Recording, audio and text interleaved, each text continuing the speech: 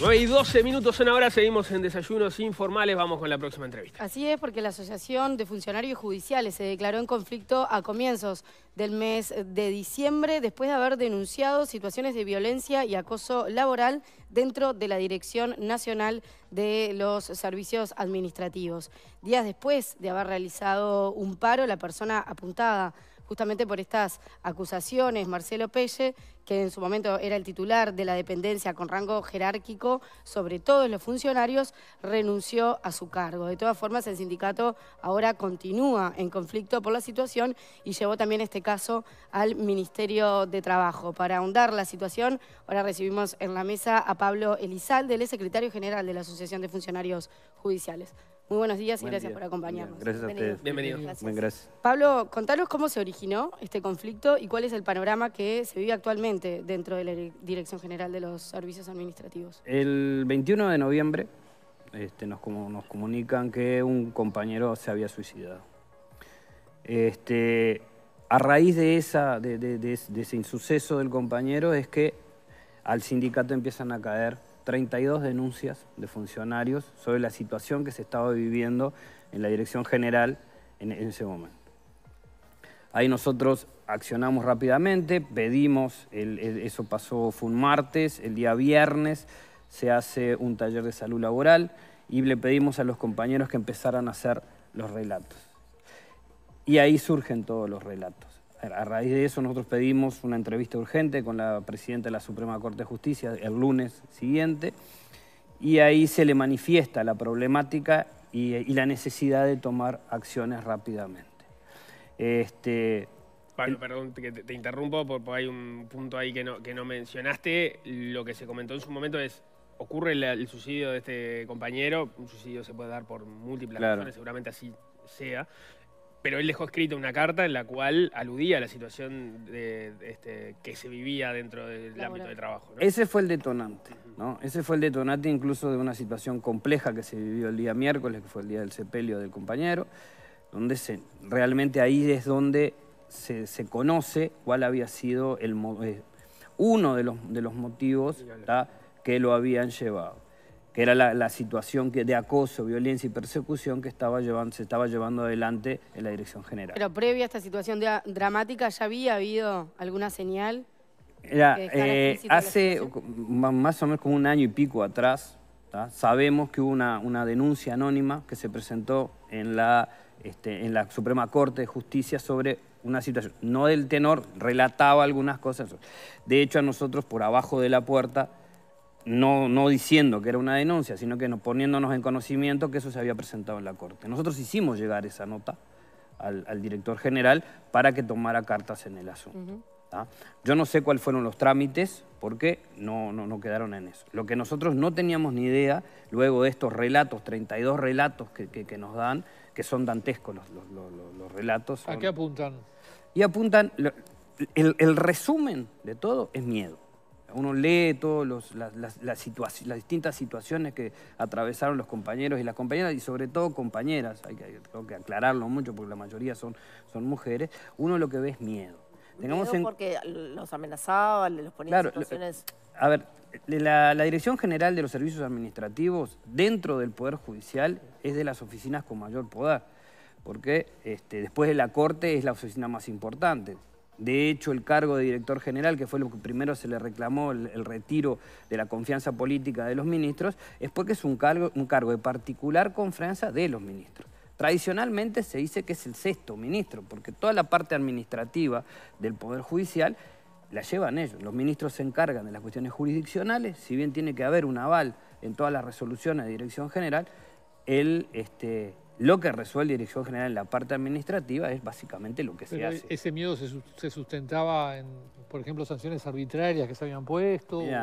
De todo, persecución, sanciones. Eh, hay, una, hay, hay, hay relatos, por ejemplo, de que se le prohibía hablar a compañeros entre ellos en el lugar de trabajo, pero si después había una reunión porque probablemente en los lugares de trabajo se evitaba el contacto, porque también a su vez no estaba permitido transitar por los pasillos si no había una orden específica, este, eh, control por cámaras del, horario donde, que la gente iba al baño, por ejemplo, cuánto tiempo estabas en el baño, prohibiciones de comer, este, si tú venías de otro lugar de trabajo, si bien había, había una cocina o estudiabas hacia horas extras, no se podía ir a la cocina porque no estaba permitido el contacto entre las personas. De hecho, una de las, de las, de las acciones que se hacen hacia este compañero es que se le prohibió a todo el mundo hablar con él. Y eso que él era el encargado de los materiales.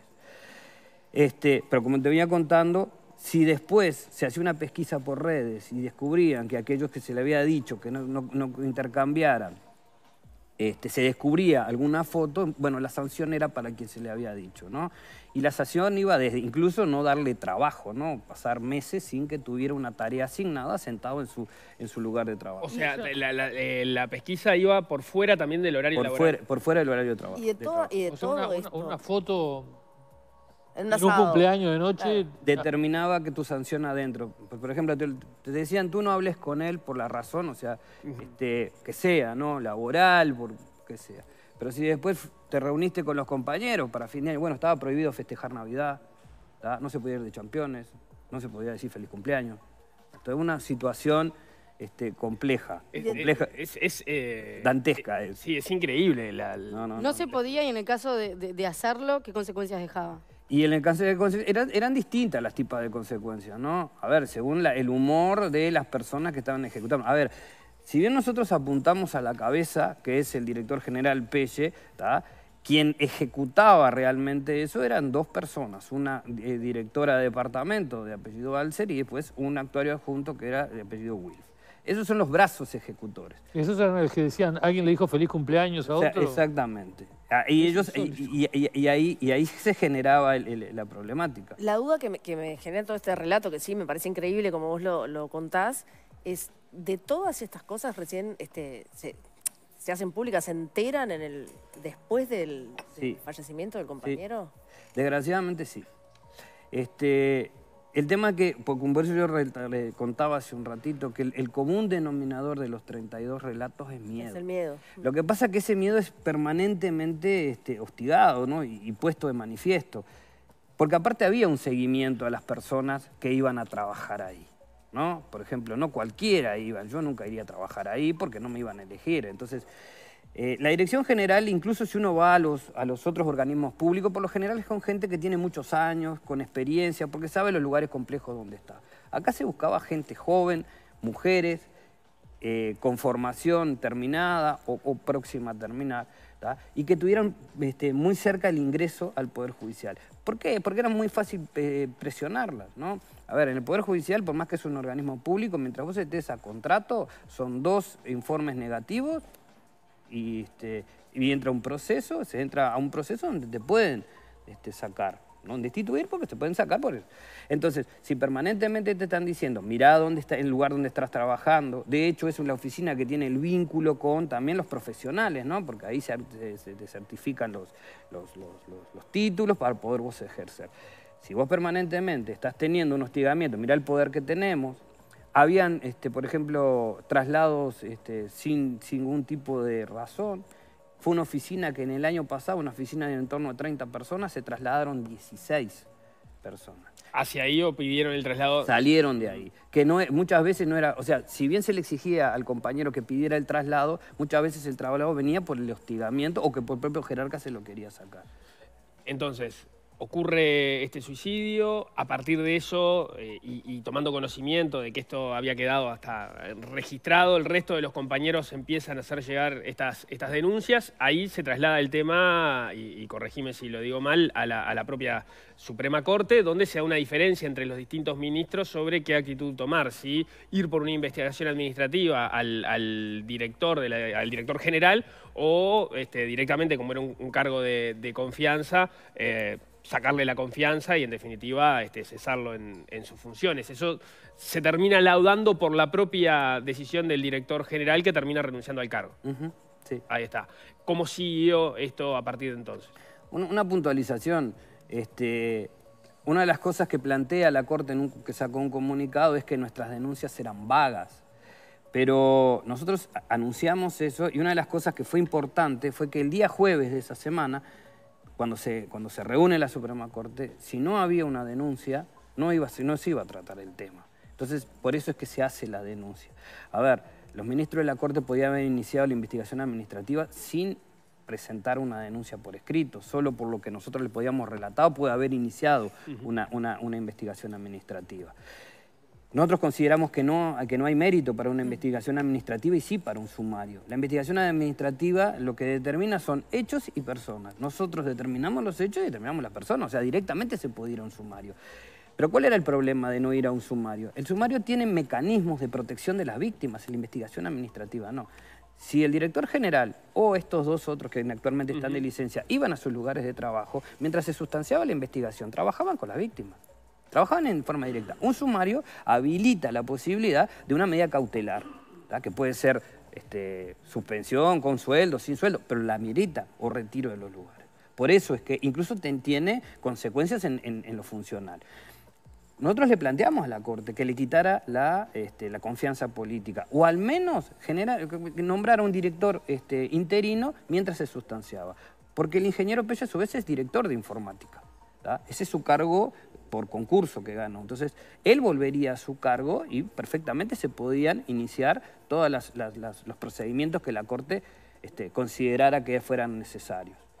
Lo que nosotros pedíamos es que se le retirara la confianza política, que es que ahí sí cesa como director general. Esa era la, posición de la presidenta de la Suprema Corte de Justicia y no así de los otros cuatro ministros. Exactamente. ¿Y qué pasa con estas dos personas que vos mencionaste que eran los brazos ejecutores de, estas órdenes? Actualmente se están de licencia los dos. Pero ellos también, o sea, la, investigación administrativa, que ahí sí fueron una de las cosas que tomó la Corte, porque nosotros no queríamos que la investigación administrativa estuviera dirigida por gente que fuera en el ámbito jerárquico de dirección general. Entonces se nombra un ministro del Tribunal de Apelaciones, la doctora de los Santos, que la está llevando adelante rápidamente. Eso sí tomó la Corte por una cuestión de protección. ¿Ah? esa investigación administrativa está teniendo lugar en, estos días que se están tomando este, los testimonios justamente de las denuncias que se presentaron. Exactamente. ¿Y estas licencias de estas dos personas fueron licencias pedidas? Fueron licencias, hasta que nosotros sabemos son, son licencias pedidas, ¿no? Son licencias O sea, licencias reglamentarias en este momento. por ahora son licencias reglamentarias, no son por por, este, por objeto del, ni de la investigación financiera ah, ni del sumario. Cuando dije pedidas, eh, me refería a eso en realidad. no, no es por objeto del procedimiento, ¿no? Con lo cual, cuando acaben las licencias reglamentarias, hay que ver si terminó o no la investigación administrativa, porque se estaría frente a esta situación sobre la que ustedes temían, ¿no? Que, que los jerarcas investigados estén trabajando con las mismas personas que están prestando sus testimonios para las denuncias. No, eso ya se resolvió su traslado. Ah, ¿se ahora, resolvió el traslado. Ahora, ahora se resolvió el traslado, que también incluso este, eh, este actuario fue para el interior, porque, bueno, porque también era como una especie de una forma que lo habían traído a Montevideo para trabajar con él, de una forma que nosotros consideramos que no había sido la más correcta, y la directora de departamento fue trasladada a un archivo. ¿Cuánta gente estaba sometida a este régimen? Y son en el torno de 30 personas. 30 personas. Son de 30 personas. O sea, casi la totalidad de los testimonios denunciantes. Y básicamente. Lo que pasa es que aquí, ahí lo que tenemos también son este, compañeras que ya se fueron, ¿no? O sea, también tenemos, porque fue una andanada. Y siguen cayendo cosas no relativas a estas, sino que actitudes que tenían en algún otro momento que nosotros por ahora este, no las estamos centrándonos en esta problemática. ¿Y fue algo, es algo particular de esta sección y de estas tres personas, este, este, líder raro y, bueno, sin calificativos, y, esas dos personas que lo secundaban, o es algo que de alguna manera puede pasar en otros lugares del Poder Judicial? El, desborde de autoridad es, una, es como una tentación que tiene el Poder Judicial. De hecho, nosotros no es la primera vez que denunciamos. Incluso hemos denunciado a magistrados, a jueces y hemos demostrado en el interior del país que han tenido actitudes déspotas. ¿no? Incluso el año pasado este, salió en la prensa, incluso la destitución de una juez penal en el departamento de, Tacuarembó, que también se inició con estas, con estas situaciones. La que hizo el chiste de llevar detenida... Sí, esa es la que hizo el chiste, y bueno, y otras cosas que, bueno, está, que, que que nosotros también creo ¿Qué, ¿Qué intercambio han tenido hasta el momento con el Ministerio de Trabajo por este tema? Nosotros tuvimos una reunión con el ministro Mieres y con el subsecretario y el director de Trabajo, donde le manifestamos la situación y ahora están en proceso la denuncia que se va a hacer a nivel este, del ministerio. No se elevó todavía, no, en proceso. No, ese no, no, se hizo, está en proceso. Porque esa es más compleja.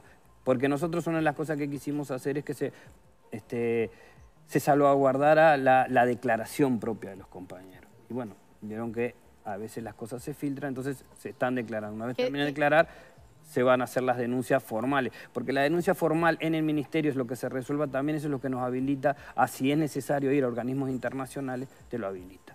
Pero ¿cuál fue la devolución que les dio Mieres al respecto? Que era un disparate y que hiciéramos la denuncia.